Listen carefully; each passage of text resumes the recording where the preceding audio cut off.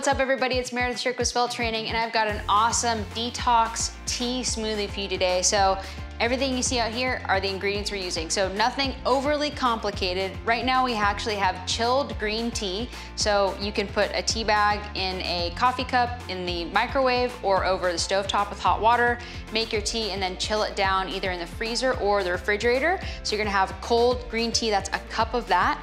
You're gonna get a quarter teaspoon of ginger. So you can either get fresh ginger ground up or you can have a little bit of a ginger cheat, which is just ground up ginger. You can get it in the the, refrigerator section.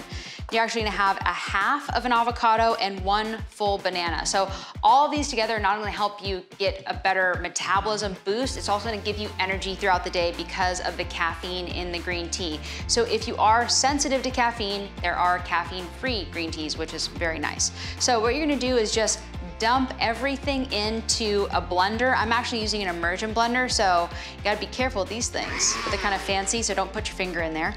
Um, but what you're gonna do is just dump in your green tea, okay? So you've got that inside, then you're gonna take that quarter teaspoon of ginger. So quarter teaspoon, Ginger is really strong too, so if you have stomach troubles or you're just not really liking ginger, then you can just go maybe even just a pinch of ginger.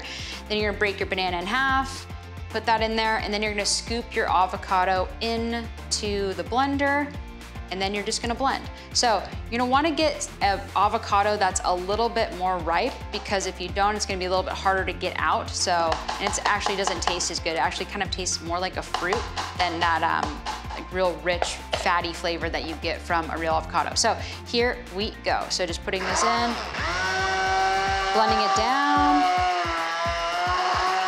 Little trick too when you're using an immersion blender, don't lift it out and turn it on. You make a real big mess, okay? I'm blending this through.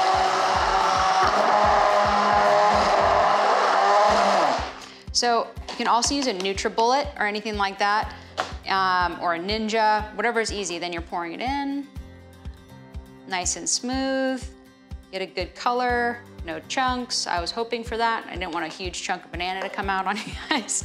then finish off with a little bit of mint and you've got an energizing detox smoothie. Really great. Again, you can use caffeine-free tea, but now you've got this as a way to not only help boost your metabolism, but also give you a little bit of boost of energy throughout the day. So enjoy that and I'll see you guys in the next video.